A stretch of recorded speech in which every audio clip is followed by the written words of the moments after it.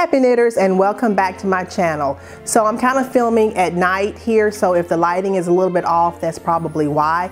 So if you are a returning subscriber thanks for coming back and if you're new to my channel thanks for checking it out and if you like what you see please like and subscribe so you don't miss any future videos from me. So in today's tutorial we're going to talk about the uh, I'm going to talk about the Santa hat. This is a pattern from Cascade Yarns. I hope you guys can see that. Um, it's called the Magnum Santa hat and I absolutely enjoyed knitting it. Um, it was a very quick knit because it uses super bulky yarn and who doesn't love a Santa hat, right? So here is the hat that I knit.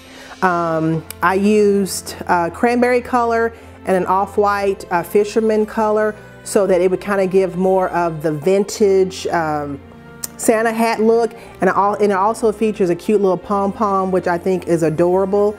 I did knit the larger size for this and I have a 20, 23 inch circumference and it's still a little bit large for me. So if your, so I'm sorry, if your circum circumference of your head is a little bit smaller than that, then I would suggest that you go with the smaller size that is the small to medium pattern. So anyway, if you guys want to learn how to knit this pattern, please stay tuned. Thank you. So the pattern that I'm going to be using today is the Cascades yarn pattern and it's the Magnum Santa Hat B181. The supplies you'll need for this pattern are going to be two skeins of super bulky weight yarn. I use the colors Fisherman and Cranberry, a pair of scissors, tape measure, size 15 circular and double pointed needles, a tapestry needle, stitch marker, and a row counter which is optional. So you will start out casting on either 44 or 48 stitches depending upon the size of the hat that you want to knit. I will say that my head measures 23 inches in uh, circumference and I knitted the large size by casting on 48 stitches and I will say that it was a little on the large size side I'm sorry so if you've got um, a diameter um, that's smaller than 23 inches I would suggest that you cast on the 44 stitches. So I'm using the long tail cast on method. So I will link a, a, video above if you need a tutorial or a quick refresher course on how to do the long tail cast on.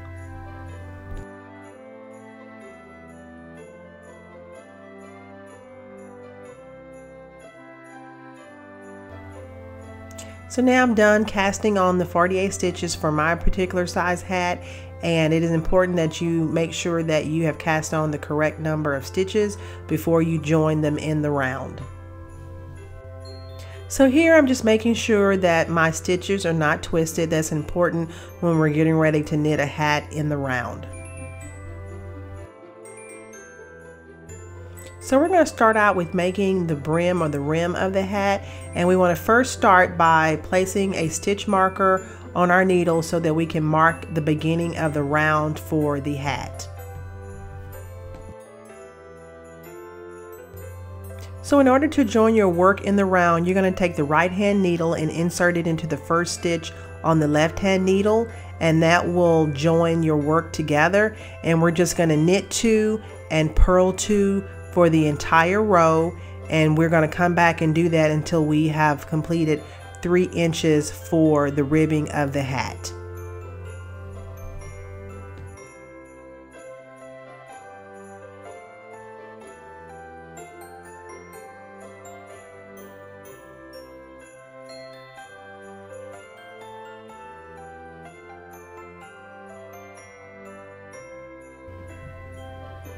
So I'm going to speed this up for you guys so that we can get to the end of this row and I'll come back after I've knitted the three inches.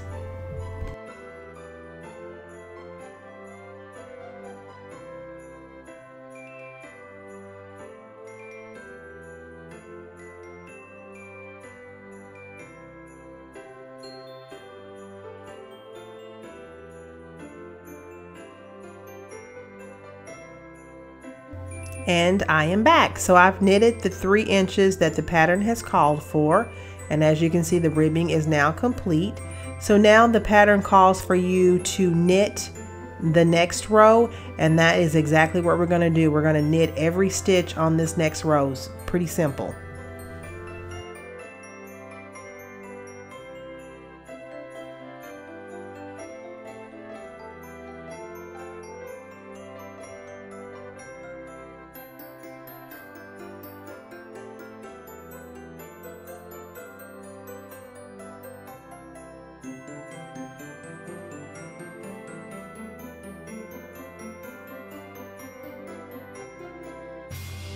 So now we've come to the end of our knitted round. So now it's time for us to get ready to do our color change. So we need to grab our red yarn so that we can get started.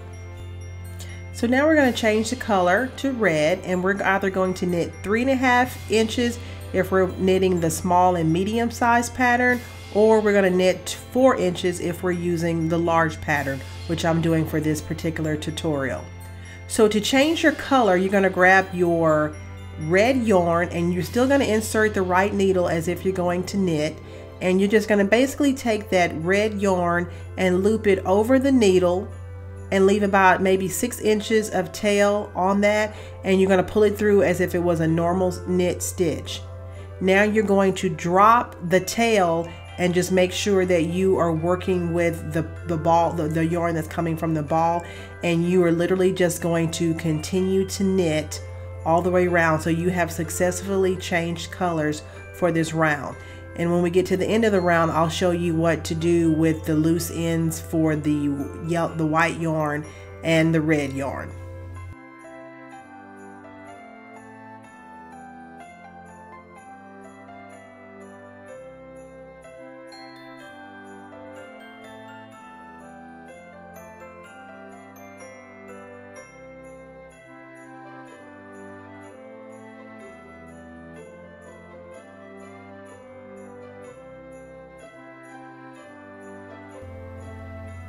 So as we come to the end of the first round where we have done the color change, you'll notice that you still have the white yarn attached. So I would cut about, I would leave about six inches of tail and, and cut the yarn there.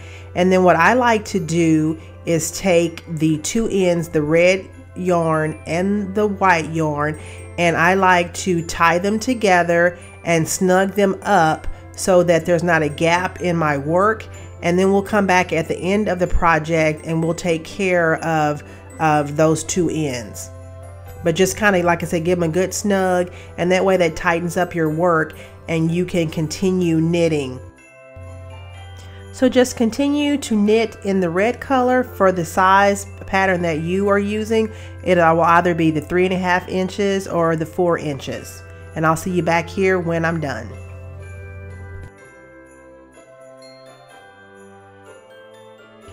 And with the magic of video, I am back. So I have knitted the four inches um, that, I, that the pattern calls for. And you, if you're using a smaller size, of course, will be the three and a half inches. Now it's time for us to start our decreases. There'll be two sets of decreases in this entire pattern, but this is the first set of decreases. And the decreases are very easy on this pattern. You're gonna decrease the first uh, two stitches and you're gonna decrease the last two stitches and this is going to be throughout the entire pattern. It's not going to be a normal decrease uh, that you would have for uh, a normal hat since this hat is going to come to a point and you want to lay a certain way. The decreases are done a little bit differently but like I said they're super easy because you're going to decrease the first two stitches and then you're going to decrease on the last two stitches. So here we are. So make sure that you don't forget to decrease those last two stitches and then the next part of the pattern just tells you to knit the next two rows. So you're to knit two even rows before you do the next set of decreases.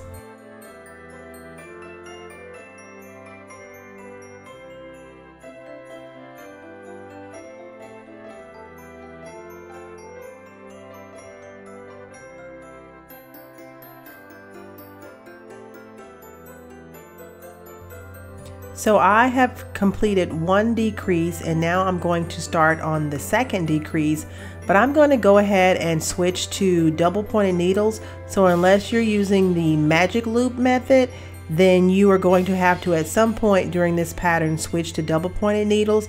So I have decided to do that on the second decrease but you can switch to double pointed needles anytime during the pattern where you feel that your stitches are no longer uh, uh, able to slide easily over the needle.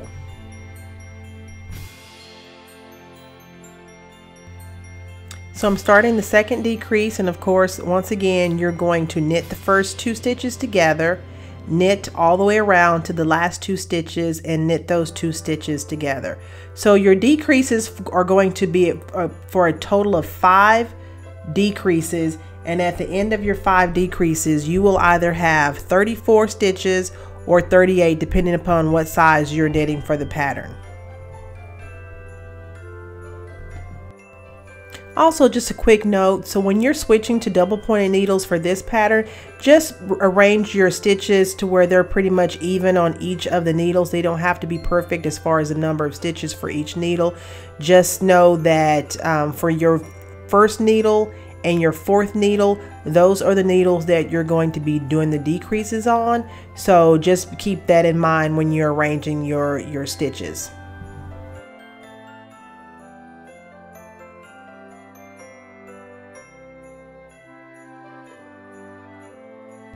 So now I have completed transferring my stitches to double pointed needles.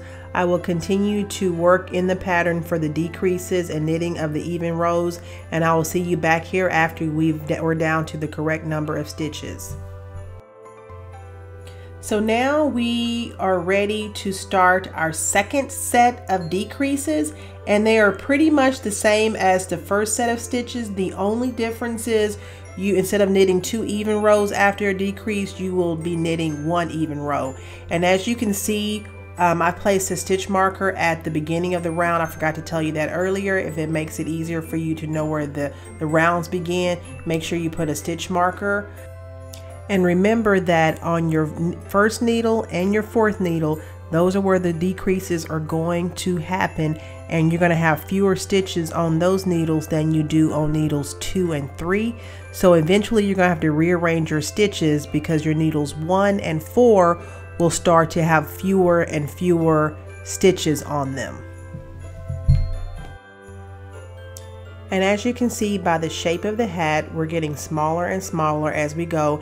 And now that we're no longer knitting two even rows between the decreases, the hat will start to decrease at a faster rate. So now it's time for us to finish up our last set of decreases. They're pretty much the same as the decreases we did earlier. We're going to start by knitting the first two stitches together and then knitting the last two stitches together. And then on the next row is we're just going to knit all the way around and then we start the next set of decreases.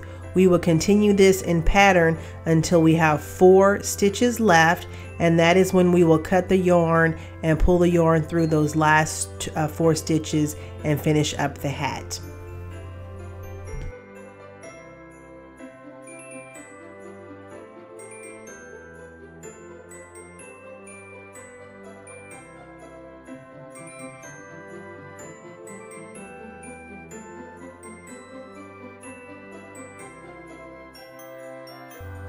So just continue knitting in pattern and I will see you back here after we have decreased, after you have decreased down to your four stitches.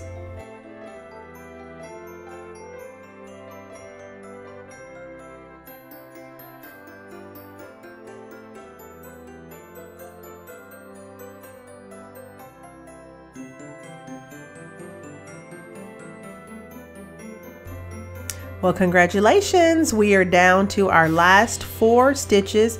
So grab a pair of scissors. Let's cut the yarn, leaving about a probably an eight inch tail. And now we're going to thread our tapestry needle and basically take those, take the uh, last few stitches off of the needle.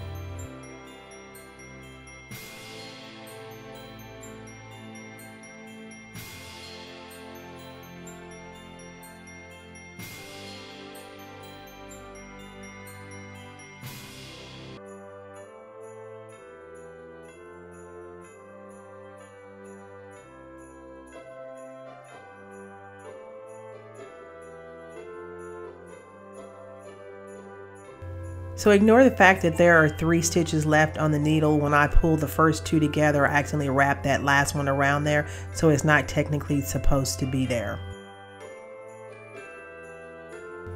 So now we want to go ahead and weave in that tail. So I would suggest you just putting your hand through the hat and then grabbing the tapestry needle and sliding that yarn or threading that yarn through the top of the hat and pulling through to the underside of, of the hat and just weaving it in, weaving in your ends.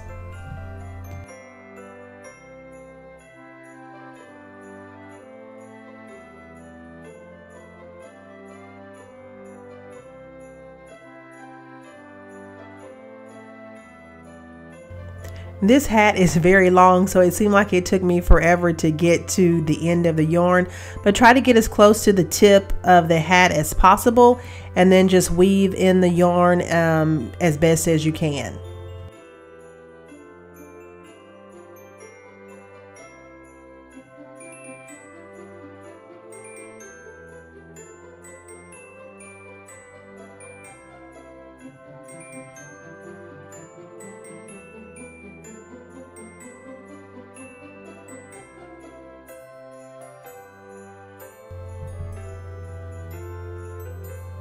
So now that we have pretty much finished up the tip of a hat, let's go ahead and cut the yarn. So our next priority is to go ahead and finish up the loose ends of the yarn where we tied them together.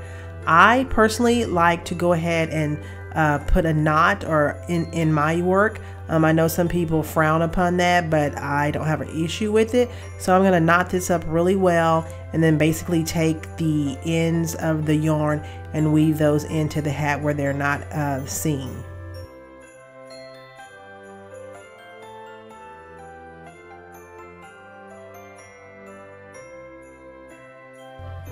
So we have one more finishing detail and that is the tail that is left over from where we cast on for the hat. So we'll do the exact same thing as uh, thread our needle and weave in those ends.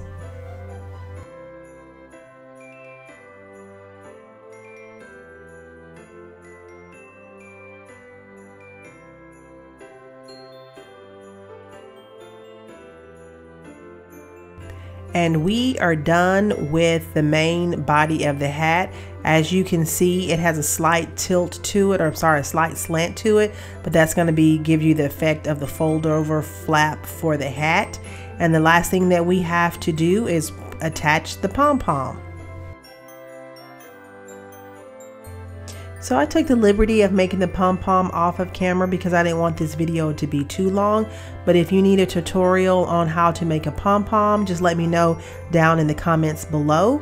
But this particular pom-pom I've already shaped up and I've got two leading tails from the pom-pom. I'm going to thread each, each uh, one of those tails through the needle and basically thread it through the tip of the hat and as you'll see in just a moment, I'll go ahead and tie those two together and knot those on the inside of the hat.